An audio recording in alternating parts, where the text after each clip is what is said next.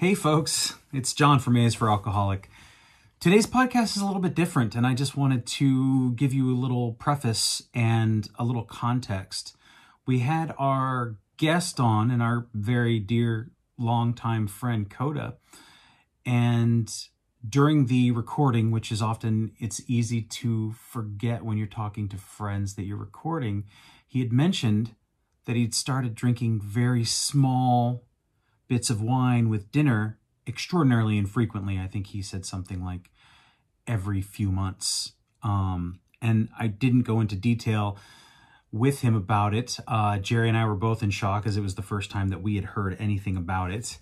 And um, I had been agonizing about it for the last few days about whether to release it, whether or not, whether to cut that part out. But, you know, he was open and honest about it. And um, if we are to practice what we preach, everyone's got to go their own way and they've got to do their own thing. And the program that I prescribe to, the program, the same program that Jerry prescribes to, is not going to work for everybody.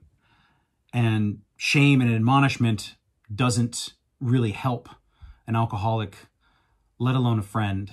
Um, and I've talked to Jerry and I've talked to Coda separately. And you know it's uh it's messy complicated stuff.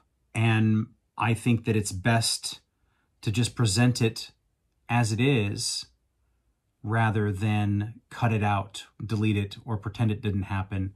Um so i just wanted to give you folks a little bit of context as as listeners as people who look for things in our conversations that might be helpful in your sobriety or dealing with your alcoholism or dealing with your addiction that one it's not something that Jerry and I would condone or suggest to anybody asking for help. And that's really the thing right? If you're not asking me for help if you're not looking to me for help then it's none of my goddamn business. And and that's a hard thing to remember. And that's a hard thing to put into practice. So I think it's important. This is just part of the process. This is part of our experience. And so this is part of the podcast. And we're going to go into it further next week.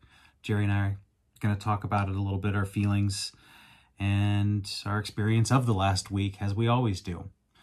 So, that being said, when somebody's on the podcast and we're sitting here and he brings up drinking wine, um, then you know and you have a little bit of context as to how this came about and why this came about, and that this is not something that we had thrown out there without thinking about it and talking about it. Um, I respect you all and I appreciate that you listen, and I'm wholly grateful that that people are getting something out of this. You know, we've always said that we started this thing just to figure our own shit out. And if it's been able to help somebody, then amen. So thank you for listening. Thank you for being here. And thank you for, for being a part of this strange trip. So without further ado, here's K is for knowledge of self. A is for Alcoholic is a program about recovery. My name is John and I'm an alcoholic. And my name is Jerry, and I'm an alcoholic. Join us as we go through the alphabet of alcoholism one letter at a time. But yeah. The buttons are optional, dude. It's an option. You don't need to button that shit. You just right? Yeah. I mean, that's what the kid said too, because the shirt is really, really long.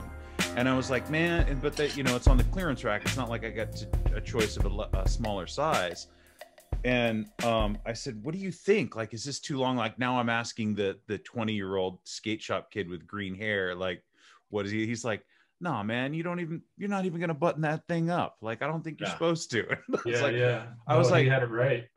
I was like, "You got it, Luis. Sold." Like that's all I needed to hear, you know, in the mirror. So yeah, I mean, you rock. You can rock a wife beater under there too, man, mm-hmm. and just leave it all the way open. Like you know, there you go. Right that that is some serious Miami Miami Vice style, you know. It does feel a little uh, Scarface, doesn't it? Yeah, Scarface, Miami Vice in that era for sure. That kid was just trying to get you out of there because he was like waiting for you to ask him if you wanted to see your van, dude. he was super cool. Luis hooked me up with a. I got to buy one, get one on some Lakai skate shoes too. I needed some new red shoes for work, so You're killing it, dude. That's now great. I'm a 44 year old man with two pairs of skate shoes and a Hawaiian shirt. Yeah, Welcome yeah, to my world. Yeah. yeah. Um, so welcome to the big show. For those of you who uh, are confused already, we um, A is for alcoholic is here, and um, we're joined today by our good friend Coda. And for Pew, pew, those pew. For those of you who don't um, who aren't familiar with Coda in the uh, A is for alco- alcoholic. Uh, what do we call it? Cinematic universe, Universe. Yes. cinematic universe. Yeah. um, he's an old friend of ours. Um, we, well, he's an old friend of mine. He's an old friend of Jerry's. You guys have known each other since what, 15, 16? Uh, 17, 16. Yeah, 17? 17, something like that. It was near the end of high school. Actually, I Mhm. think I was out of high school. I think I was 18. Jerry was like 16 or 17.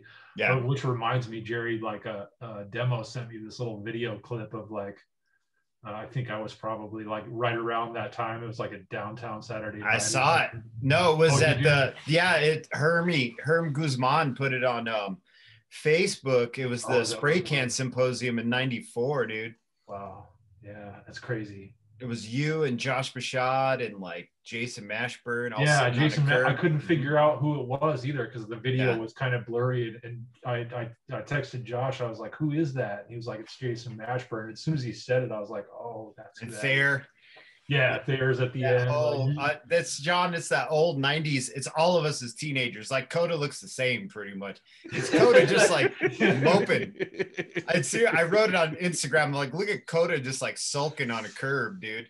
And Oh. then like Gary Hickey's in it. Our friend, our shared mutual friend Gary, who's like a really well-known chef, I guess, down here in Tucson now. But he's in it like cocky as fuck, eating a sandwich, looking like Sid Vicious. Like yeah, I don't crazy. know. It is super crazy, dude. Yeah, Um, I don't know. it just- kids. it tripped me out. Yeah, it did trip me out, man. I was Mm. just like, wow, there's there's a there's a you know there's some punks right there. Some Dude, we were jerks, dude. yeah, and I, I think I met Coda. I guess I was 20 or 21, so you would have been 22 or 23. Yeah, so, summer of like that. 1998 was that that summer. Uh huh. 1998. And I just remember because I had met Jerry a couple of years previous, and he brought you back. Was like, "Yeah, I'm going back to to Eugene, and you should come up with us." And I don't know what the impetus for that trip was, or if you were just like, "I'm fucking done with Arizona." Oh yeah, no, that that was definitely it. I, I was, yeah, for sure. That seems to Not be a general assessment. Is just people are like, "I'm fucking done with Arizona. I got to get out." Yeah, I At least think I think everybody kids. does that, you know, um, who lives here, and then, um, but everybody also comes back, you know, Mhm. whether it's once or twice or multiple times, like like myself, you know, I just, you know, for whatever reason, I just keep coming back here um, again and again, um, glutton for punishment, you know, just. I uh, but I remember the night vaguely, and maybe you can fill in some pieces where you went out with us, and um, what was that? Who was that? My that? brother-in-law, they all just got home from camping. Okay, and um, we went out and we were drinking and we were partying and we kept going. And I just remember you being very quiet and kind of like just checking things out, but you stayed the course for the entire night. Yeah, yeah, I Like, remember that night. There's pictures. The, you know who has a bunch of pictures of that night? Who sent a couple of pictures was uh, Stephen Schwabe. Yeah. has a bunch of pictures of that night. Like we're all in the parking lot at Safeway buying donuts and 40s, like at like six in the morning or whatever it was. Mm-hmm. And then we went under, we were in the little bike path in the underpass and we were eating donuts and drinking 40s on that underpass at like seven in the morning that next morning. And that was the And then we first night that we the met you. What's that? That was our first. Yeah, that first night, together? it was Ryan Party was with us also. It was Ryan Party, and we walked up to we walked up uh, like uh is it Skinner's Butte? I forget that. The butte. one downtown. The it's probably Yeah. the short one. Yeah, the one downtown. Yeah. It was, but it's the one that That's overlooks the Spencer's. river, though. Yeah, that's Spencer's. Yeah, it's the one downtown. yeah. And it was yeah. We walked up that butte in this neighborhood, and we watched the sunrise. And Stephen was all like on acid and I thought he was going to fall off the cliff because there was like a big cliff right there. And yeah, it was really crazy. I remember that. Yeah, that was that night. That was the first night. And like we we hung out like daily after that. Like we were Right. instant friends after that. Or like Mhm. Jerry, you I mean you were like, yeah, let's go. We got to go to the boys' house, dude. We got to go to the boys' house. And I'm Dude, it's because they party, dude. The dude we were staying with didn't party, and I knew John and them would fucking. It let us They do whatever some we shit. want. Yeah, dude. yeah, Dakota, no, that's 'cause Yeah. we, we were staying with Adam Babkees, remember? Yeah. And his Mhm. girlfriend who was Yeah. like, she was not happy that we were there. Like, No, dude. It was this like, little fucking 500 square foot apartment, and me and Coda's nasty ass sleeping in the spare bedroom, just stinking the place dude. up with beer farts and cigarettes. And And then Oh. Walter Walter started hanging around more because we were there, and Walter Yeah. was always fucking shit up there. I mean, yeah, so like it was just a bad deal for her all around. just Walter rolling in in like knee socks, cutoffs with like pre-made mojitos in a Ziploc bag, just some weird Walter shit. Yeah. And like I remember he was going to culinary school or something at the Mm-hmm. time too, so he was always trying to whip up something to eat, and it always ended up being gross and getting everybody sick and shit. Like, So Yeah. can I, I? I I've got a very yes. So he came over the other night. I saw him and he's doing well. Yeah, he came in in his uh his uh railroad overalls, Yeah, of course, and he brought me some uh crab bisque in a little plastic container that he had made. And I was very, you know, and I don't I don't really eat a lot of crab. And I was like, oh, okay. So I made it yesterday and it was pretty tasty, but I don't know that it sat very well. I maybe I just wasn't used to it. I mean, I don't know Yeah. what it was, and I don't want to. I mean, I'm very grateful that he brought me some bisque, but well, yeah, bisque is really, I mean, it's really rich stuff. If he makes it like you know Mhm. restaurant style, it's going to have lots of cream and lots of butter. It's going to be, you know, I mean, bisque is sort of the, I mean, it's a really rich type of thing. If you're if you're a little bit lactose intolerant, it may kind of mess with you a little bit. and I think that's that's probably what happened. he put some But- Grand Marnier in that shit, dude. Probably. so yeah, so I mean, I've known so I've known Coda since '98, and Jerry's Yeah. known him since like '92, right? 93, Something like yeah. '93. He's been around for a long, long time with us. Um, knows the ins and outs, and probably, I mean, obviously, we've all got you know plenty of stories, but and you know, Coda just recently celebrated three years sober. I called Right I called him up or I texted him and I, I said, Hey, aren't you celebrating an anniversary here or something this month? And he's like, Oh shit. It's yeah, I didn't tomorrow." even I didn't even remember it until John texted me. It was Really? funny. Yeah, no, I I- I just like I spaced it, and it was it was the day. It was like the twenty first, which would have been, you know, the day that I crashed my car. And as soon as he texted me, he's like, "Yeah, you got a you got a three year coming up, don't you? Like really soon." And I was like, uh, "Oh yeah, it's today. Today, three years ago, is when I got all hammed and crashed my car." I'm like. yeah, it's but um what is it? I mean, isn't that like a kind of a cool feeling that not that you forgot it, not that we should forget these things, but that life can kind of go on and it doesn't have to encompass your daily thoughts.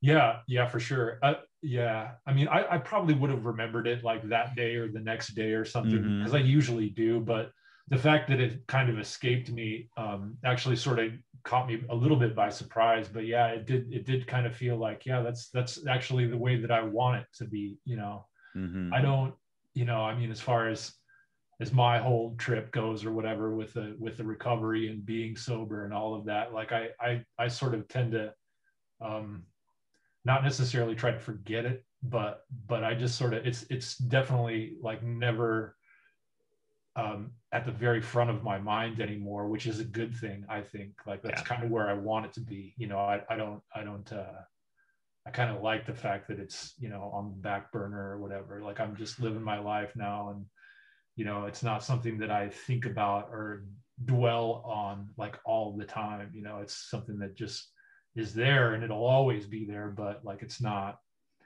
it's not first and foremost all the time like it was at first. You know, at 1st mm-hmm. it was probably that first six months, of course. I think it was just and I think that's for for anything really. It's gonna be, you know, it's going to be right there at the front like most of the time but but yeah, i mean i like the fact that it's not you know that you can feel normal in some yeah aspects. yeah for sure yeah i guess that's part of it but um yeah Um, but but the, I when when I did realize it, I was like, oh man, three years. Like, you know, it's that weird feeling. Like it, it seems like just yesterday, but then again, with what's happened in the past couple of years, especially in the last year, it's like a long time. Like three years is it's a pretty good chunk of time. Like it, it seems like a long time, and it, then it doesn't. You know, at the same Yeah. time, it's very strange.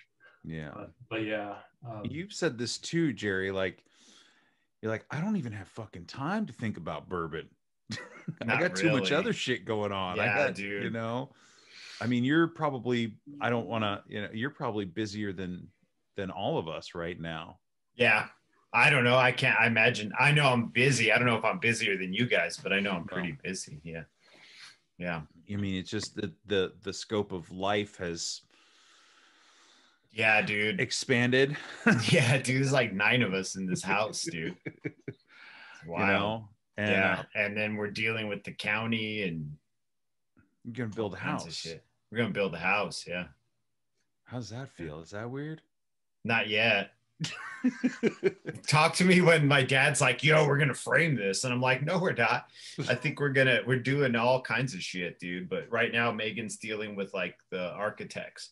She's she just put the um paperwork out to the county where they send everybody a letter saying that we're going to build a guest house on this property and so and that'll get approved because we've already gotten uh, our two neighbors that are nearest to us have already been like yeah the dude that lives like behind us where we're building closest to he's a contractor and he gave us a hookup with his architect. So everybody's down. We're just waiting for the county to put it out. And now we bring out a surveyor to uh, make a, a site map. And then megan's already got the site map like 90% made. She just needs to get all the gradation you know like where our slopes are so they can come even it all out. And then we're gonna then we talk to the architect and get the plan and then we put down the pad and then from there it just starts rolling dude Yep. Do Hmm. your dirt work and then put your pad in, and then yeah, you're off to the races, man. That's yeah dude crazy. i mean we're like right at the edge of it right so it's and but other than that i mean with you know not to get too deep into the money part but with the loan where my dad is getting this loan and we have this whole thing worked out where we're paying off the mortgage but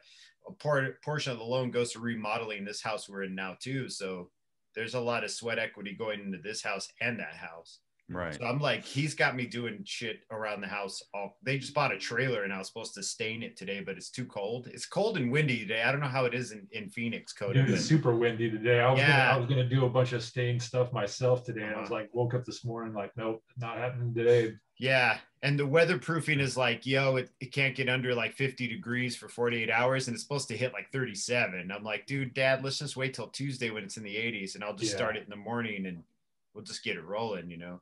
But yeah, dude, I'm out there in a cowboy hat on a tractor, like clearing out fucking prickly pears and shit all day. It's crazy, dude. It's like so different than my normal life was in Eugene, Yeah. you know? Yeah. Um. Uh, give me a call when you need some painting done, homie. Yeah, I will, dude. I absolutely will. Megan and I did some, but I know you know some shit, so I'm gonna hit you up. Yeah, yeah. I got. I mean, I, I, I, I have some equipment and shit. I got, I got. You know, I mean, instead of going to the, like, I, I might be able to save you some time and money that way too. I have a mm-hmm. lot of stuff that you know already on hand or whatever. So Oh, good to know. Yeah. Yeah, we plan on doing all the painting, interior and exterior, and we plan on doing like the molding, crown molding, no, not the crown molding, Yeah. but the floor molding and stuff. trim and- outs, yeah, all the trim. yeah, and the floors are stained concrete, so we're not having any Nice. tile Yeah, or that's that's the way to go, dude, for sure. Stained concrete's the way. Yeah, rather let, than, let me know how that than trim work goes, dude. I've done a fair amount of trim work. That stuff it looks real easy until Yeah. you get into it. It's a lot of Is fun, it man. pain in the ass? All right, we'll fig- I'll let you know, dude. I'll be like, just yo, yell- we made a mistake. I mean, just just you know, there's there's so many videos on YouTube and stuff. Like I've had to I've had to like consult YouTube in the middle of a work day before, just like on how to do certain corners and Yeah, if there's any like tips and tricks and stuff. And you'll you'll learn as you go. It's it's frustrating, but it's fun. Like at the end of the day, and it's a good skill to kind of have in your back pocket too. Like to to do those things yourself. Um, eventually, like I don't know, I you save a lot of money doing it if you, Yeah. if you can if you can hang in there and do it. Like you'll save yourself thousands of dollars, literally. So that's what we got to do. Yeah, Yeah, because our budget is yeah. So we'll see. I mean, this is but th- you know, juggling that in a house with my parents are in recovery, so they're Yeah. both sober. You know, And then and Danny and Anrose, they don't drink to excess. You know, Danny's got a huge bourbon collection. I was telling John, he's got this enormous bourbon collection because he actually sells them.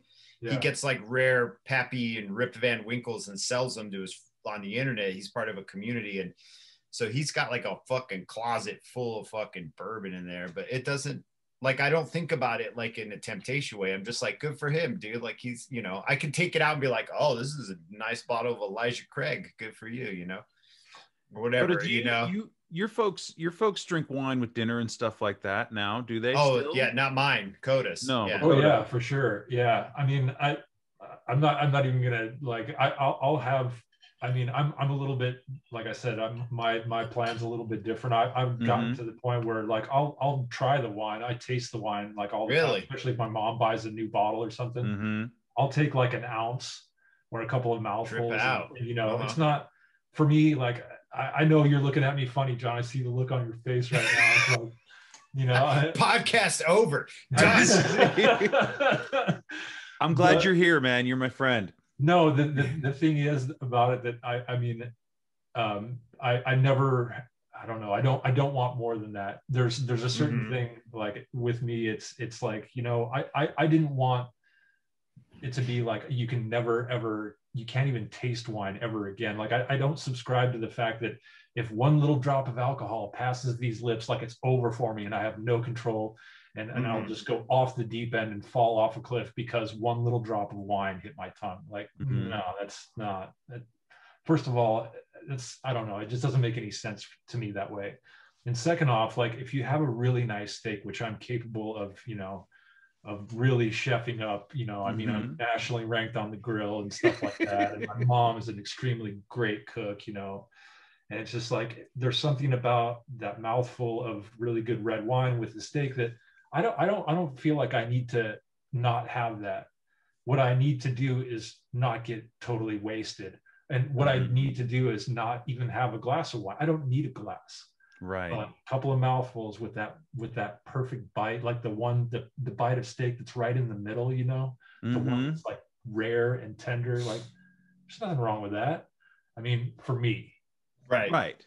No, man, I didn't. I mean, I'm I'm surprised. I didn't know, but I'm but I'm also like we've had m- multiple discussions about sobriety, about recovery, about your perspective on it, my perspective on it. Like Yeah. I wouldn't I wouldn't fault you, and I know that if you felt, I would I would assume, and I would I would say, like if you felt like there was a problem ever again, you can always just give me a call. You know that, Right. Right. but um, I mean, it's all that's just you knowing yourself, right? Right. and i in so it, it only happened twice in early recovery where i had a sip of something and like my whole body lit up and it was like on fire my face was on fire my chest was on fire like everything it was like it was like a button got pushed and everything Really? lit up uh-huh this Wow. was once from a straw taste from like Yeah. some fucking strawberry whiskey drink that dude Oh. made it like it was like I was like two months into it, and the my old bartender friend slid it across the bar, and he's like, "Taste this! I just made this," and it was instantaneously like I didn't even think about it, and I just picked up and I took a straw taste, and Wow. everything lit up, and I felt really uncomfortable, and I was like, "Oh shit, I gotta go," and I just went Yeah. home. And then it happened again with some butterscotch pudding that I had that had actual scotch Really? in it. Yes, Seriously. It Oh, was I at- it was that at about the pudding. and they were like, "Here, uh. try this butterscotch pudding." And then they're like, and I was like, "Scotch in there?" And I was like, and I got the same super flushed feeling. Like, I don't know if I got super red, not like when I used to drink, but Yeah. I was like, "Oh man." Huh. So the fact that that doesn't happen to you on an ounce of wine, I mean, there's gradations to this whole thing. That- That's what I was thinking when you were talking, Coda. is There's gradiate, there's degrees, there's gradations. Whereas Yeah. John, like, will eat pudding and wake up naked in a hotel room. Well, and know what I'm saying? Like- that, yeah, I, and John, you've said it before, and I and I think you're right. Which is not only, I mean, you you had an allergic reaction. I mean, you know yourself well enough to know Mm-hmm. that, and you, I've heard you describe it that way several times. And I remember, you know, of all the years that we drank together too, that just just to see you like uh, certain things would like I remember when you drank gin, dude, you practically break out. Like you would have like, Like these massive skin reactions, and like Yeah. everybody would be like, "John, are you feeling all right, man?" Like I remember that. Like you had some kind of allergic reaction to certain things. Like and and, and Mm-hmm. I remember and I that will too. say that I never tried that, and I never tried the, the like the ounce of wine or the mouthful of wine thing until recently. Like this, this was probably like as recent as probably six or eight months ago, or like Mhm. over the sum this summer, Mhm. that I was like, I'm gonna try it. You know, I want a taste of this wine or whatever. So I didn't do it right away, and I think Right. that has something to do with it too. Like I didn't, I didn't mess around with it kind of waited until things were a lot more settled down, a lot more secure. And I knew a lot more what was going on, like in my head and where I was at with everything, you know, Mhm. before I would try something like that, you know. Um, so, yeah, I mean, it's definitely kind of knowing where the boundary is, I guess. But Mhm. but yeah, with you, I definitely see that the allergic thing, and especially in those first two months, like I think if I would have tried a mouthful of wine in the first two months, I probably would have had the same kind of thing happen, like Yeah. lighting up and being like, "Ooh," like, Yeah. That's yeah. I mean, the neural pathways are still there. The, the, the Mhm. monkey is still there. He may be sleeping, but he's still there. Like at Yeah. this point, the monkey's kind of dead. You know, at least that's the way I like to think of it. You know, you got a dead monkey in your brain. Yeah. yeah, kind of. You know, it's like either either that or just like in a in a very very deep coma at this point. Mhm. So. No, man. I mean, I don't I don't begrudge you in the slightest. And I think I think it's absolutely important. It's just a, it's on a spectrum, right? I mean, this Yeah. shit is not the same for everybody and it's not right, right. right? I mean, no, I absolutely agree with you. It's not. I mean, to, to paint it black or white does it an injustice. You know, mhm. we're all we all have subtleties. We're all different human beings. Like for me, I don't even think. I think about it, but I don't think about it like John. Like I don't, because I've had like uh, flan with with cognac on it and didn't even just ate the flan, you know. But to me, it's like it holds no luster anymore. So I'm like, well, what's the use? Like even a, I never, you guys know me, I never liked wine anyway. So to me, a mouthful of wine is whatever. But I could even with bourbon, it just doesn't hold the same promise or luster or like because Mhm. I've even like without even thinking, I'm like, yeah, alcohol tastes like shit, you know. What if I just said that recently? I'm like, it all tastes like shit to me. Yeah, know, but that's, if- the, that's the funny me- thing too. Is occasionally, like uh, my my mom got a couple of bottles of wine that were from like 2019, and they were whites, and I tasted it, and just like, ugh, this is shit. Like I didn't Mhm. even like I just put it down, and even the mouthful that I had didn't even finish. You know, it's kind Right. of like, you know, it's it's weird, but but yeah, it has to it has to be like a, a certain thing. Right. Yeah, I mean, it, it, it's I I- hear what you're saying though. Right. My well, and- my and- cons go ahead, sorry. no, no, and, and like hard liquors are the same way. It's like I don't Right. even want to. I don't even want to mess. There's no reason to. It doesn't add anything to the dining experience for Right. me. Right. It doesn't add anything to like, um, even you know. I just it, all it is. There's everything to do with negative. Like wine's kind of a different animal. I really do think that there is some Mhm. alchemy that happens with food, um, and with the general experience of eating a meal. Hard alcohol is a totally different thing. It's one purpose and one purpose only, in my opinion. So, what is Right. that purpose? well, to, to make you feel a certain way. I mean, Right, just right. I mean, it's it's you know, not necessarily to get like all the way hammered or whatever, but it's to, you know, it's to make you feel a certain. It's to alter Mhm. you a certain way. yeah. Yeah, it has flavors, and yeah, it has this and it has that, and it has an experience to it. But that experience is to alter your consciousness, basically. It's Yeah. to alter where you're at. It's to loosen you up or whatever. It's not. It's not really to enhance food or enhance, Right. You know. Well, and this brings up so, and I'm fascinated. Um, I'm actually, you know, Jerry and I are uh, going to be reading a book. I just started this book called Never Enough. I don't. If you're interested, if you want to pick up a copy, we're going to record a podcast in a few weeks about it. Oh, another part another of- book review. if you want to do a book club if you want to be part of the book club but um one of the things is they were talking about there's two different um two different ways people become addicted to alcohol right basically either you're predisposed or you fucking drink a lot and then you just become addicted right so so i would say that i was predisposed like it was in my family it was in my blood i had those immediate reactions. It could be and, we don't have i don't mean we but you you could have been somebody who doesn't have that but you just fucking really hung out with people maybe and drank a bunch and so then it just became a habit rather than it being something that you were predisposed with. I don't know how you feel about that. Yeah i don't i don't know. I mean i although i mean neither, neither one of my parents are, are, are real big drinkers but i do Mhm. have it in both sides of my family is the thing. So I, Okay. I, I can't say you know with any certainty that it's one way or the other. However um, i think that it's probably a little bit of both of those things really.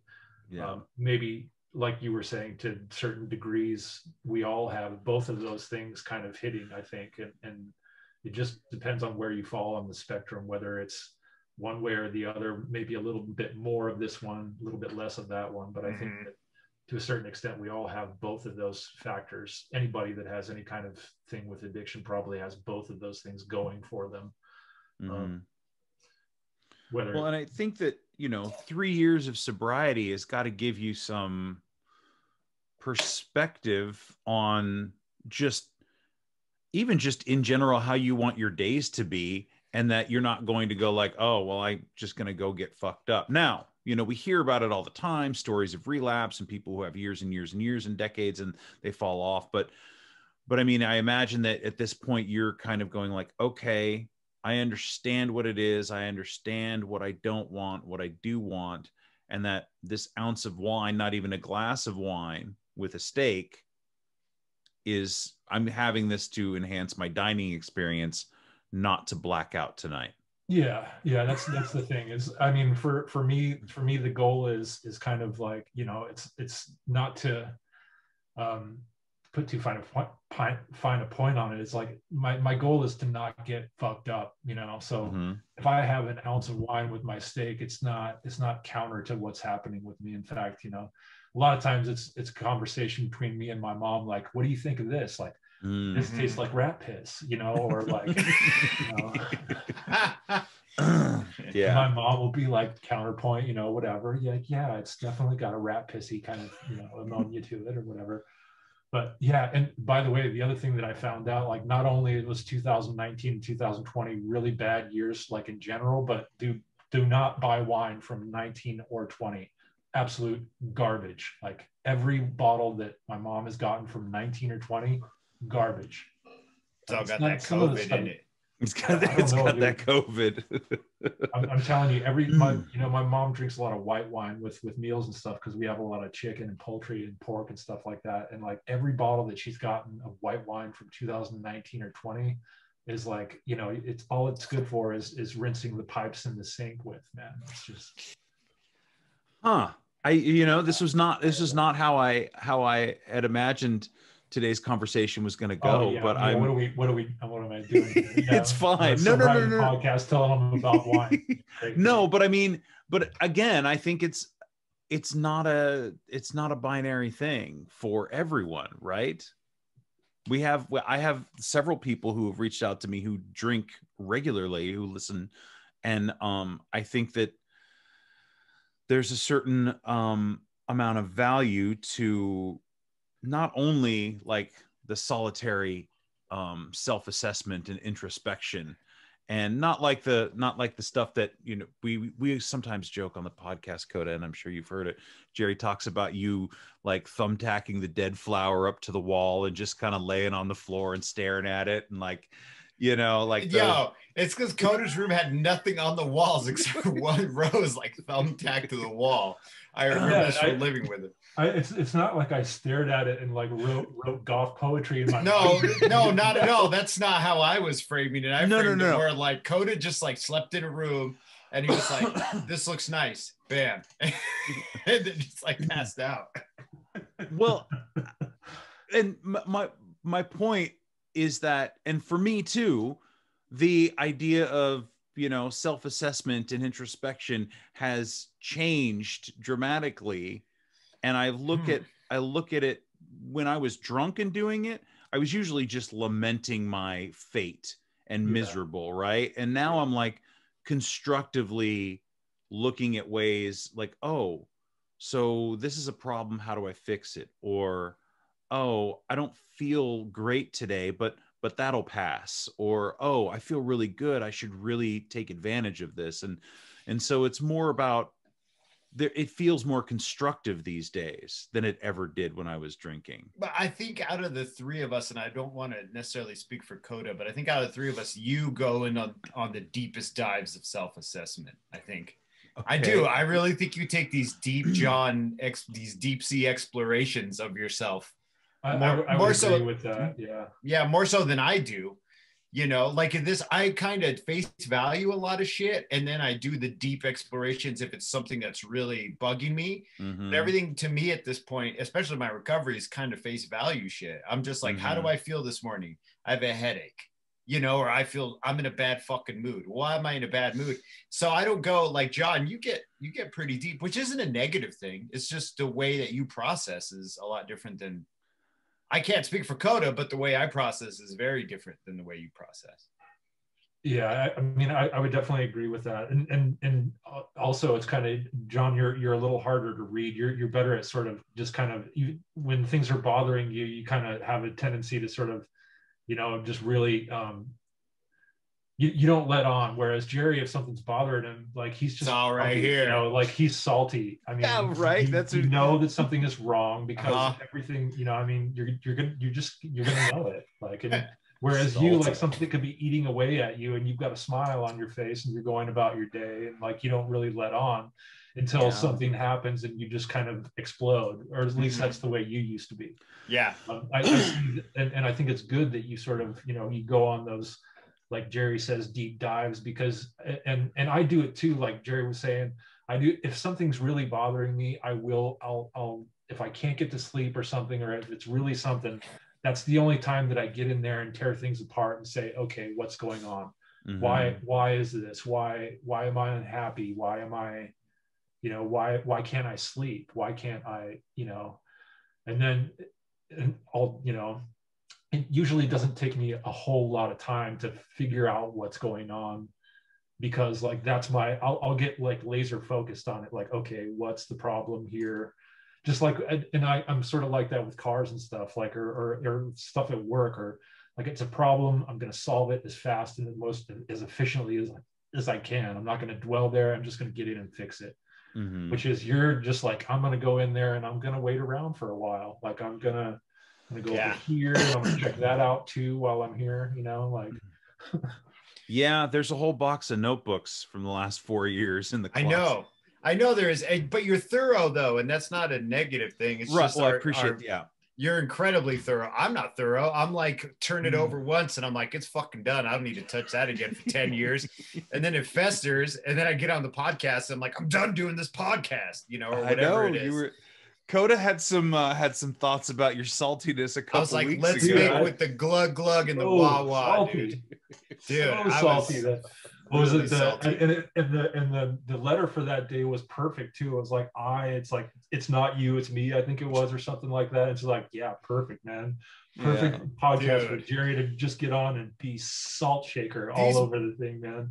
poor people are listening, trying to go into recovery, and I'm over here fucking being a grouchy motherfucker about it. So funny. Oh, by the way, my dad wanted to give us some input. He said that um, Yes. oysters make pearls, not clams. Apparently, you and I were talking about building a pearl of resentment, and we kept saying clams. And my dad came home. Oh. He's like, "Listen to the podcast and drive home. Just want to let you know. Don't take it personal, but oysters make pearls, not clams, Geraldo." Yeah, we're, we're we're a couple of piss clams, aren't we? Yeah. Um, but yeah, so I think, and I- guess maybe because that works for me, being going on those deep dives, and then I get Mhm. really excited, and I'm like, hey, you know what everybody else needs to do?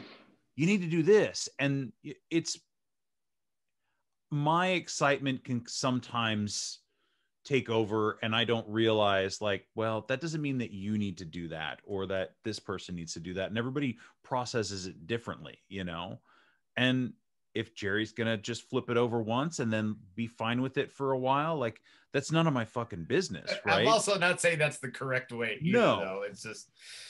but I also don't think that everybody is going to.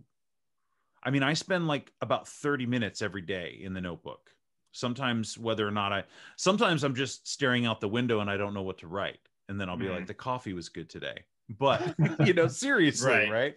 But um, so and maybe not. That's not for everyone. I mean, that's that that that took me that took me three years to get to that point. Four almost four years to get to a point where I was going to actually put that Mhm. put that work in, and like that's not for everyone.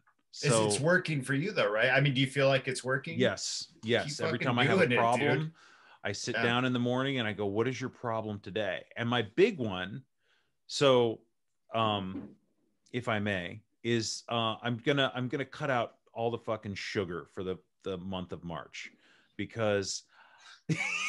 Luck, Look man. at your, your face. Well, see, Cody, you've never, yeah you've never had a weight problem uh in the same way that i have not i'm not saying that you don't have issues with that but like you've always been a thin dude No, and, and and I'm I've I've been trying to. I'll tell you what, man. I I'm I'm on a journey right now to cut to cut down on my sugar, and I've been on that journey for about a month, and it's and it's at least as hard as quitting smoking. Really, it's it's it's super difficult for me. Mhm. Um, but um, but yeah, no, I I've never had a problem with with weight either up until the last year of my life, which you know really yeah man yeah like i'm i well I, I started i started you know trying to be a little more physically fit this year. It was Mhm. part of my new year's resolution which i got started on a little bit early but um but yeah man like i i, I got a little spare tire going on and, and for the first time in my life and i was not happy about it. So you know it was one of those things where it was it was bothering me. I figured out it was bothering me. It was slowing me down and i decided to do something about it you know not to just sit around and whine about it but to actually do Mhm. something. So but yeah then you know and and when you start out like doing physical stuff and you can probably both of you can back me up on this like you can really get down a rabbit hole as far as what um, like exercise and what i mean as far as diet exercise weightlifting you know calisthenics things like this i mean you can really fall down the rabbit hole on any of it like Mhm. the running stuff i mean you Mhm. can go so many people have so much input for you that it really gets really Yeah, dude. quickly Yeah. And and and so um what was my point here? Oh yeah um so, um like you, you just uh, you you can get so lost in that. And and uh so what i kind of figured out was like i needed to cut the sugar out. I mean if you listen to what people are saying that's the same thing. Most of them have what what in what they're saying in common is things like stop eating sh- raw sugar stop you know exercise more and stop eating sugar and bread you know stuff like Mhm. that it's real simple cut down on your carbs a little bit cut down on the raw sugar and move you know move around so i yeah went with that. But the sugar thing, you know, I mean, I was sort of getting to the point where I was like heaping teaspoons in every cup of coffee in the morning and realizing like this is this is just like an addiction. Like it gets a little bit more every month that goes by. Like Mm. and basically I'm desensitizing myself to the sugar. So I'm needing more and more of it all the time. And what does that sound like to me? Well, that sounds like when I used to do heroin a little bit. Like yeah, I need to look into this a little bit more kind of thing. Like I need to sort of mitigate my sugar intake a little bit here. Mhm. Everything is pointing that way and everything is sort of flagging that way. So it's kind of like, yeah, but good luck, John. I mean, it's going to be, I'm telling you, it's tough, dude. It's tough to, So- it's tough to wean yourself off it. Or you're just going to like go cold turkey and like shut it off. well so uh, here's my thing and and i because i i cannot i don't have the um I don't have the ability to structure it the way that Jerry does, the way he has been able to do it, where he's able to count nine Doritos or have you know one spoonful of M and M's or whatever it is, right? It's ten So M and M's is 100 calories, dude. Come on, man. It's easy. You just count out 10 and eat the 10 and don't fucking eat anymore. It's really not that hard. Just count out nine Doritos and eat those nine fucking Doritos. See? So for me, it's like just and and it It's got to the point. me. Right. It's not hard for him, but I was eating like I was getting the little things at the little market here, where the Yeah. pokies they're like little generic M and then I was getting the peanuts, and I would sit there and I'd eat them. But it's not just one little bag; it's like a little sack. Yeah. And so I was like, "Fuck, dude, this is where this is coming back from." That and fucking regular ass peanut butter. And I mean, that's those are the two big ones peanut butter and jelly, bread, and you know, like some sort of candy or sweets. I went through a phase where I was eating dates and cashews, just fucking sitting down with them. So Yo, dude, do you have like a baguette hidden under your bed? Are you fucking hoarding food like an like alcohol? I don't need to. You are, alone. don't you? You open up that fucking nightstand. I bet you it's full of nuts, dude. Full of Those dried little bags that he's describing, those little bags from the pokey, dude, Right, they're, yeah. they're all over the place. Yeah, They're Yeah, on the there's empty. They're all under the thing. He's got like gorp in the fucking under the kitchen sink and shit. in his pillowcase and shit. uh-huh so so i just decided right so march 1st is a new month that's usually pretty good i'm starting today just you know give myself a kickstart i'm going to eat as much fruit as i want not dried fruit because that's kind of the fucking same thing as candy it might as well be Yeah. right so i'm going to eat as many berries. I'm going to fruit get frozen blueberries and grapes and melon and all that stuff but i'm just going to try and kick all that you know processed sugar and the bread probably too like no more tortillas or Yeah. just burrito bowls. I, and just give it a shot right? Good luck, man. i don't know because it's because i wasn't i wasn't this heavy before right? I mean i i gained 20 pounds in the last year at least probably around there but like i'm not happy with it and it's difficult i used to be able to just get down and do 25 push-ups and it's like that is a fucking chore now and it wasn't last summer Yeah. so i Mm. want to get back to that and so part of part of the whole is like Well, trying to wait, though, understand the- but what was different last time? Were you not eating sugar last time? Like, So- because I know Rashida was, I'm your ex girlfriend wasn't mhm. eating sugar. So were you No. on her same diet? What was different last time? What was different is i wasn't so i wasn't eating sugar i was counting Mhm. every single calorie Mm-hmm. but then you know when the pandemic hit and there were multiple hits i took last year right Not right, right, yeah, emotional and just, yeah. emotional uh the the wildfires i had two different injuries both in my ankles and in my lower Mhm. back Mhm. so all this shit compounded and then i was just like one day i was like i'm so fucking tired of counting every single goddamn calorie. It's just a pan of sauteed vegetables. I'm fucking done with this. And that was around may. And that was also around the time i got the job back at the place that makes really awesome pizzas. So you're like eating the crusts, people's Yeah, old crusts. pizza. You're like, "Here, I'll just take this. no.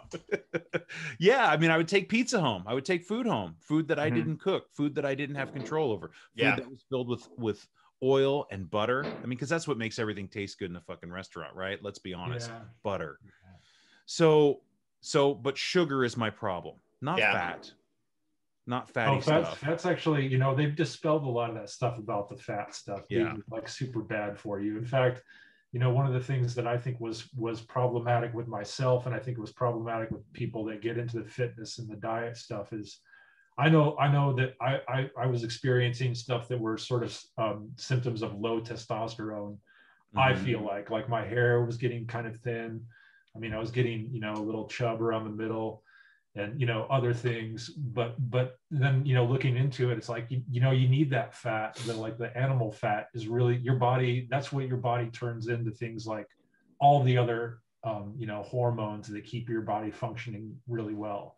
And testosterone in particular, it you have to have a certain amount of fat in your diet or you're not going to make it. You're going to get low, you know. So, um, as long as you're supplementing your, I mean, as long as you're exercising or moving around, or even just taking a walk a day, you don't have to be like some, you know, muscle guy or whatever, some bodybuilder, um, to to you know, as long as you're doing that, you're going to counterbalance some of the fat that's coming into your diet. It's actually not. They've you know sort of dispelled a lot of the myths about Yeah. fat being like all fat being bad for you. That's not the case. Um, and by the way, those guys that you know, some of the fitness people and the you know, and the the like bodybuilders and super contortionist yoga people, like when I look at them and I'm doing some of these deep dives or whatever on fitness and diet, like what I'm seeing there is obsession. By the way, like Yeah. that's some weird stuff. Oh yeah, You it's. know? I was I was watching a video. There's a guy I watch who does some weightlifting and he just does it for strength, not for show. And he's he always and he's like a European dude, and he's always like, "Yo, if you can see abs, like that person's starving." Like that's that person is their body fat is so low that they're literally starving. You Yeah. shouldn't be able to see your abs. That's not like a healthy thing, you know. So it made me feel better because I'm like, fuck yeah, dude. I'm healthy as fuck, dude. So John, are you gonna replace the sweeteners then with like stevia, or are you just cutting all I think- sweet out of your I think diet? Well, so I would put stevia in my in my coffee. That was the only place. Today I didn't. I live off stevia, dude. Right. But I give feel a like fuck. stevia and things like honey because for me it's it's a behavioral thing. So stevia would just be like it would be trying to hit that same little pra- place in my brain, Mhm. you know, that sugar would or that cigarettes or that alcohol or whatever it was. And for me it was cigarettes was the first one where I was like there's this little place in my brain that it hits. And I Mhm. was like it lives like it literally I gave it a place in my brain. I don't know. if Yeah, that's oh, yeah. and it was right dude. over here. yeah. And so it was like that same little place is like, ooh. So I'm just gonna be done with the the stevia for a month. I'm gonna drink. I drank my coffee black before. I can do it again. That's not I'm bad. an If you adult. get good coffee, it's pretty tasty. Black. but honey is the same thing. I would then if I if I keep the honey around, I'll just fucking use it on everything. honey's right? just I started It's the doing same that too, fucking thing, dude. when I first when I first started trying to cut back my sugar in the morning in my coffee, I, I Mhm. started replacing it right away, right off the bat with honey, and then I realized what a, what a Same trap that thing. is because I was doing the same thing. Like I Yeah, had one of those the same bears. The Mhm. freaking bear was gone in like a week. I was sitting there in the morning. right? Then you're crushing, you know, honey bears like fucking Coors Lights in the in the Seriously, recycle bin, dude. So and then I'm then I'm wondering why I'm getting fat. You know, it's like, dude, you're crushing a honey bear like every week, dude. Like, Yeah. crushing a birthday cake every two days and a honey Right. bear cake. Like, Yeah. So I think just whole fruit, man. I'm I'm just gonna load up on frozen berries, and I'm gonna get lot. I love melon anyway, and you know, so I mean, that's kind of what I'm gonna. I'll tell you. I'll tell you what hits the spot too, man. Tell is a me, really nice sweet pineapple, dude. Pineapple is like I've been, Mm. been doing a lot of Yo, pineapple lately, and that shit is when when you get a super sweet one, it'll it'll yeah it, it'll knock that that that craving Right. down big time. Like a So- nice sweet pineapple is awesome. You're I'm gonna working- be farting like a compost heap, dude. Like, listen, I don't I mean to interrupt, alone. but I eat a lot of fruit, right? Too, Yes. because I'm my smoothie. I eat like at least two servings of fruit every day in the smoothie, and then I eat apple. I try to snack on oranges and apples and plums throughout the day instead of chips and shit. But Mhm. like literally, I fart like a horse. Like I'll sit here and fart, and the whole room will smell like a horse farm. I'm like, yo, I'm doing it right. like I, I, I'm doing it correct. You know, I, I'm sometimes, fine with not that. all the time. That's sometimes. Sometimes it's rugged if you get too much protein powder in that shit, dude. What do you What are you using? Pea powder? What are you? Oh, whey? peanut butter, peanut butter, Peanut butter? powder. Yeah. And Um, chia seeds, dude. I like Chia chia seeds. Yeah. Yeah. Yeah. So I mean, I I'm mean, regular as fuck, but you know, that's that's a whole other podcast. Yeah, about you being regular. Yeah. I got a squatty. My sister gave me a squatty potty for Christmas, dude, and I it's the most gangster. I love it. It's the most What's the, gangster what's the thing. squatty potty? I'm, It's like a little plastic like uh stool that goes under the toilet. So when you sit down to shit, you like put your feet on the stool so Yeah, it the- elevates your legs your go up your legs go up so you're squatting to shit instead of sitting down. so that Oh. everything is straight when it comes out. It's dope, Oh, wow. dude. It's dope. I feel healthy. I feel like Asian. I feel healthy as fuck. Like from an Asian country, not you know. Mhm. I don't know. Is that problematic? You know what I, I don't mean. think so. Yes. Apologies. I was talking didn't to a guy gross. last no, a guy last night about high colonics and coffee enemas too, but I'm not sure if I'm ready to go down that route. Yo, dude, you're just I don't know what you're doing. You're this California weirdos, dude. Cutting out sugar, wearing that shirt, doing yoga, recovery podcast. Holy shit, Seriously, dude. I know. I'm California's really done a number on me. Fucked Um, you hair dude. out, man. Growing your hair out. um so but yeah i mean that's that's that's kind of the plan just for the month of march to just to kind of get a gauge on if that's the problem if that's not the problem then nothing will change and then i'll know right yeah, right. You yeah, need to I mean, yeah. Yeah, but it's sure. probably the problem right guys like it's probably the fucking sugar I don't know what your problem is, John. come on i mean uh I so mean, how how how long are you doing your planks for? Is you know my other question. well are, i you, are you planking enough, John? Are you? Dude, you got to follow him on social media. You get to see Yeah. it all day long, dude. Oh, I watched John do these weird curls the other day where he was banging dumbbells into each other in slow motion in a shirt that says, I don't remember what it said. To take cut no the sh- shit cut the shit. He had a shirt that said cut the shit, and he was doing curls with dumbbells and banging the dumbbells into each other, but it was in slow motion. And it was like a Crystal Gayle song. Like Oh, John on um, Instagram is wild shit because he's got like Radiohead. Oh, that's what it is. There's a there's a Radiohead song called Lift, so that's why I was lifting the weights. Oh, Get it? Like it's a little. Dude. John's social media account is fucking crazy. He like will edit movies of him running, and then in the middle of the movie he'll stop and just do push-ups in the road, and then get up and keep running. Like he's, it's hilarious. Uh, because I just picture, dude. Do you remember in Tucson when we lived here, and there was that dude on the east side, that old guy in the satin shorts who jogged Yes. every time we saw. That's John, dude. Basically, John Yeah. is turned into that dude. Oh, oh my gosh. So I'll just be out there with no shirt on. If it's hot, sweaty, I'm running, and then I like need to take a break. So I'll do some dips or do some push-ups for my like run break, just on the side of the road. Just people Okay. driving by, they're like, check it out, it's fucking Ted Kaczynski. It's the Unabomber. So Yeah, I, I, I can see you in a couple of years, just all leathery and brown, like a raisin, in some satin running shorts, just you know, stopping and dropping and giving you twenty on the, side of the road. I admire it. I Yeah, honestly, well- because I don't, I, I don't even take my shirt off running. I just started recently. My mom's Mhm. like, "You're so fucking white, so I white." just I'm just you know I got I got over it and I, I kept thinking because that, that was part of my problem was I was thinking do I look good? Do I look okay? And I was like I don't fucking care anymore man. Like I don't give a shit about any of these people. Like who cares if I'm at the stoplight and everybody's staring at me? And it's like it doesn't fucking matter. And then so I was wearing that cut the shit uh tank top that I have and it says do the work on the back Nice. um, you can you can get it. It's in my uh, uh Instagram. Uh, they're for sale. I made them. Um, you made them? Yeah, I oh shit! it. I'm buying I- one.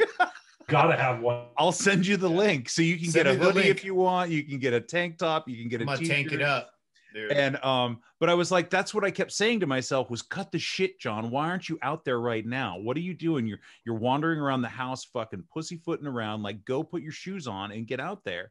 And so I wore it. T-shirts, dude. I'm so fucking in. I'm Yeah, dude. I'll send you the link. So awesome. So then somebody saw me. I got something on Facebook or on Instagram or both, and they were like, "Was that you? Did I see you downtown running in the bike lane?" And I was like, "Yeah, the bike lane's nice and smooth and flat. Like that's where it's at, you know." And Mhm. so, I, I mean, I just don't fucking care anymore, right? Like Yeah. I'm just tired of like giving a shit. I get. I was so worried. I mean, come on, we were all horribly insecure and terrified and worried about what other people thought of us. Yeah, No. I, su- I suppose you're right. I mean, I I, I have to agree with you there because I and, and I and I feel you now because I'm like I, I'm I'm out walking around and and you know my neighborhood and stuff, my conservative Arizona neighborhood and my like my on sale bright bright like fluorescent blue Adidas running shoes and like Adidas pants and and, and like a, an old dingy you know, I, I I know that that all of my neighbors think I'm some weird homo, like weird dude. Like, Mm-hmm. what's that guy walking around the neighborhood? He's gonna, you know, bring the kids inside, kind of thing. Like, it's just I don't care. Like, a hobo in running Yeah. pants, like just like, yo, I'm here to steal a pie on your windowsill. Yeah, I mean, who seriously, cares, right? I'm just like so. don't I mean, care. I'm fucking. I'm gonna be 44 in Cut two the days. shit, John. Do the Cut the work. I didn't realize you made those shirts. You, you know when I- when when you said that too, I started laughing so hard. That's like one of my brother's favorite sayings is "cut the shit." So I like. Not only am I gonna like have one for myself, I'll probably order a few of those like for gifts and shit. Because cut the shit's That's like a so funny. in my family, cut the shit's kind of like a mantra, dude. Like, Is it's it? Pretty, yeah. That's great. Yeah. Yeah, I didn't I know just- that those are yours. That's so funny. Hey, I love Yeah. that you're walk around the house being like, "Yo, you didn't do your dips today, John. Get out there in front of that Winchell's and fucking do it, pussy." Basically, and I love doing it. That's why I love doing it in front of the donut shop. It's kind of like my fuck you to the donut. So I'll do like push-ups in front of the donut shop, or do dips in front of McDonald's. You know, You crazy? Nice. You And I crazy? like, I don't need you. so that's kind of that's what's that's where I'm at in my head. You know, Dude, well, I'm just running around Oro Valley with no shirt on, so they got But good running place looks trails. here. Beautiful. Oh yeah, man, dude. Oro Valley, they've really incorporated here in North Tucson. It's like it's so different than it was when we were kids, when Coda and I were kids. There's No, a I, whole- I, you know, Jerry, I rolled through there not too long ago. I don't remember why the hell I was down. I was, uh, I was doing a job down there for with with this one dude that I know. He was, he had some work or something, and we ended up driving all the way. We went, we went to, we went all the way down to like uh, Green Valley or something, and then we went up and he had to go back through. We went back through Tucson and we went down Oracle Road all the way and out of back to Phoenix via Yeah. like Oro Valley. We went Oh wow, yeah, Mhm. you know, yeah, that pretty. way all the Yeah. way, Mhm. and like we rolled all the way through Oro Valley, and I was just looking around, just like holy shit! I couldn't believe how different it was. It was Yeah, and and that area has always been really pretty but like oh man i, I forgot how pretty it is out there, There are it's, it's sweet. trails everywhere here now, like kept up by the city, like just Yeah. whole running trails that go. There's like you know 10 mile running trails, and not just one. There's they're on every like east west block is a running trail that goes from the highway all the way out to the mountains. You know, that's super sweet well Yeah, catalina state park is out there too which is uh, dude catalina Mhm. state park is awesome Like, Yeah. the We just back side hiked- of it on your side is fucking Yeah. super dope we dude. just hiked the Pusch Ridge Trail, and then Oh, yeah. my, my sister and my brother-in-law are all about hiking now. They're outdoors, so I've been actually I never hike, and I've been going with them, and it's been so much. It's beautiful. That's another good way too, John. Going out. Well, you know, you're out there. Yeah. I think about you when I'm out there because you run those hiking trails, and I'm like, John's crazy, dude. I Well, will run I this mean, trail. The hills are your friends. They'll they'll they'll work your glutes. I promise you. Yeah. Like this. Just got a you shiny old Flanders ass, dude. Just all feels like Dude, you're wearing the nothing trails in. Arizona are not like you don't want to run on the trails here though, dude. They're all rocky and like if you stumble or lose your footing, you're gonna like break a shin or something. You get You're gonna, airlifted like, out, you know. dude, yeah. What's trails what's the joke? gnarly. The joke. I don't always roll a joint, but when I do, it's an ankle. Yeah. I've never heard that before. That's funny. So Ugh. yeah, I mean, I just but the stuff that I saw Jerry posting pictures like smooth, flat, like on the side of the road Right. areas. That's my those are my running those are the running trails. Yeah. Yeah. The hiking trails are different, but I'll but come down pretty, maybe man. this winter. I'm grateful to be here. man. It really is nice For to be visit. back. Like Coda was saying earlier in the podcast, he's like, you know, we come back or whatever, but like this time coming around, it's been so different being here than it has before. You know, It's been yeah, wait, positive. wait, wait till this summer, pal. You'll you'll be. That's what I keep telling my mom. I'm like, I love it here, but we'll talk in August. That's all. That's my caveat every time. We'll talk in August when it's Yeah, 112. no, it- it's, like, it's impossible not place. to love this place, and and like you know, from December all the way through until about April, May, like Right. it's, it's just the shit. And and the same is true on the other side, like October, November, October, December. It's it's it's just it's perfect here. It- there's Yeah. no question about it. It's dope. And this right now is coming up on my favorite time of the year. Like as soon as the citrus trees start blooming, like it's the shit for like Yeah, six weeks straight. pretty. It's like Mhm. anywhere else in the country is total garbage. This is where you want to be for Mhm. that six weeks. right. And then summer hits and you're like, I'll be anywhere but here, you know? Yeah. Right. And it's flipped in Oregon and it's flipped up in like the north. Well, you're in that weird sweet Sonoma spot where it's like, Yeah. Things are pretty mild nice most of right the now. time, yeah, it's yeah. very temperate. We get some wet rains, but it doesn't get too cold. Uh, it, it'll catch on fire. It gets yes, it catches on fire. So that's that's going to be an issue for yeah. So that's that that poses a different set of challenges. Let's say, to say the least. Um, but yeah, uh, I just uh, no, I appreciate like Coda, you talking with us and being straight up with things and like I'm I admire it and I'm interested and I'm intrigued and like, you know, you're your own person and you've always you know, Jerry and I've always said like the program that we prescribe to, subscribe to is not for everyone and nor should it. be, right, right. Yeah, different. And exactly. Yeah. And, and just, just so we're clear here, I, I don't, I don't, you know, I mean, I don't have nothing against any kind of anybody's program, you yeah. know, whatever it may be. I, I'm, Mm-hmm. I'm in the same boat with you guys, which is, you know, whatever works, find what, you know, it's funny that the, the link that you sent me, John, for the running warm up, the, the yoga Mm-hmm. with Adriene, yeah. she has this saying, which is find what feels good, you know? Yeah. I really- oh, really it's love my that. home girl. Mhm. Yeah, dude, Mhm. she's, she's the shit, right? Like, Yeah. Yeah. uh, but but I love that saying, like find what feels good, kind of thing. And, and I've been sort of trying to follow that in my fitness, like sort of quest or whatever. Mhm. But but also, I mean, it works on a lot of different levels. You know, it works on just about any level. And so I like, you know, you, you and Jerry following the the twelve step, doing the AA thing. I, in fact, like a, a lot of what I do is based on that. If if I didn't, if I hadn't gone through, you know, going that route the first six months of my experience, I probably wouldn't be where I'm at today.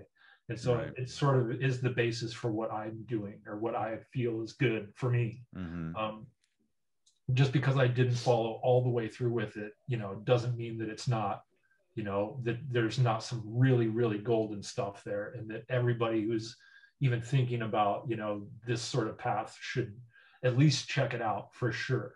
Yeah. Like I'm, I'm, you know, that was one of the first things that both you and you know Jerry told me when I when I first you know called you that day three years ago. You know, was was just go to a meeting. You know, which which was really great advice and excellent. I mean, really was enough said at that point. Mhm. Yeah. Um, so Yeah. yeah, I would I wouldn't discourage anybody from you know trying. You know, in fact, I would recommend it. Um, so yeah, yeah.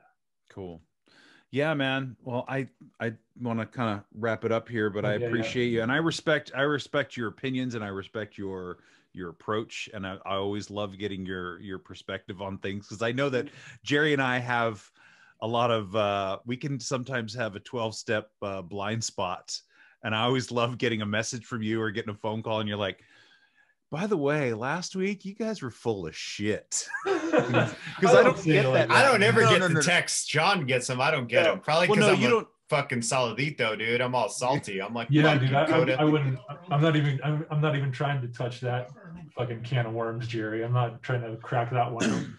No, but you you you'll keep me honest about you know what I say, and and and how I say it, And and I, and I I- appreciate that. Yeah, let's be clear, John. I, I'm not like you're full of shit. I don't do No, that. okay. Come on, I'm I'm way more diplomatic than that. Yes, yes, you are. No, we but you uh, you know, and I'm being hyperbolic, but um, you do you definitely give me pause to be like, hey, John, you said this, but what about this? That's another part of it. That's another side of it. And I was like, oh, okay. And so it's it's important because I get a lot of positive feedback, right? Jerry and I get lots of great messages and people are are helped by it and they they appreciate it, but it's always nice to know that like I can do things a little bit better. I can say things a little more concise or be more intentional in my language and stuff like that, you know, or that I'm missing something. I so yeah. That's all. No, right on. Yeah. yeah. What, what, what was our what John? Did you want to just uh, you know throw out there what what the uh, what the letter was and what our theme? Oh, yeah. be, you know, Well, just- Um the the letter today was K, which is uh Yeah. becoming the sort of biannual um letter that Coda joins us on. He Yeah, has I'm the last on- three four on K. times on K. um but uh I, I I thought knowledge of self and that's what I wanted to uh to kind of get people's perspectives on, you know, how they approach things and Yeah. I just think that we've all got these very different ways of doing it, and today it seems to be working, right? it is. Yeah. So, mm. Just count out those 10 Doritos, bro. It's not fucking hard. It's 150 calories. You just put 10 down. Suck all the fucking cheese off each one. Just a meal of that shit, dude. That's what I do. it. Dude, I get these tiny Kit Kats from Megan. I'll count on all three, 130 calories, and I'll suck on each Kit Kat like a lozenge and watch TV. I do, man. I just own it because I'm like, yo, I, this is. A, I don't know I if I'm gonna get another Kit Kat later, You you should you should see me with that one ounce of wine, dude. Like, dude. Just Mhm. so yeah, I mean, I would just eat the whole bag of Kit Kats. No, Uh, I that would be I my problem. it. I would just be sitting at the kitchen table, fucking unwrapping and throwing away, unwrapping, and No, just I can't do that. I gotta run it though. Everything is a little piece of fuel. That's the way I look at it, like little piece Yeah. of gas. Mm, I'm, I'm gonna run this tomorrow Hmm. when I get wild, and I do. I run it. Run around Oro Valley, no shirt. I'm looking for a cougar. My wife's cool with it. It's all right. just stay She's away gonna take care of- lions. Just gonna take care of all of us. Oh, Well, man, thank if you, they're- guys. They're anywhere, they're in Oro Valley for sure. Oh. Mhm. have a great day. Have a good March. Yeah.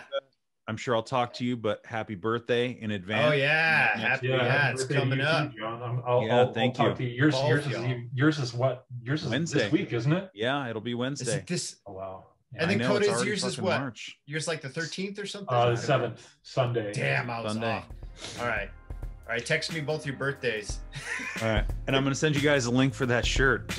Please Dude, do. Yeah, Yeah. You, you gotta All right. you gotta send like seriously, dude. I'm I'm, I'm ordering a batch of those, dude. Expect a big a big order. A big your shipment. All right, All right, Cool. man. all right. I'll talk to you guys later. All right, Later. fools. Thanks again for listening. Our music, as always, is by Neglect. You can find more of his stuff at neglect.bandcamp.com. And you can find us on all social media platforms that matter Instagram, Facebook, and Twitter. And you can reach us at aisforalcoholic at gmail.com. Talk to you later. Yeah.